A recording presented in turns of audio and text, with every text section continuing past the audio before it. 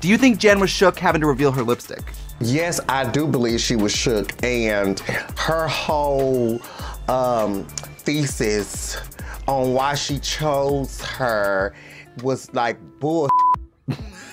I, I, I think it was too. Okay, if you were A'keria, would you use that as a motive to vote out Jan? Yes.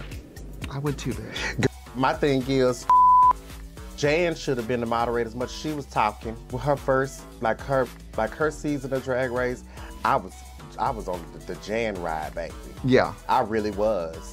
But then when I started seeing her in these challenges, I'm like, oh, girl. oh, here we go. Don't kid yourself. It's not cute to go, I thought it was great. And everyone's like, what are you talking about? Jan. Okay, well, you don't have to say her name. So what do you think of Jan? I just need a moment. First of all, what is the purpose of these stirrups? Second of all, why do you have any color stocking going into a white shoe?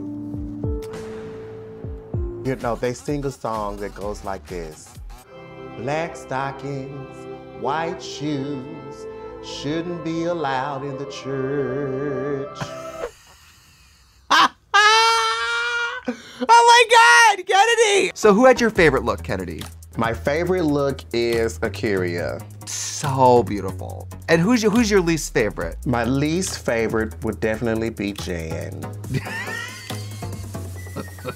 God bless her. God bless. God bless Jan.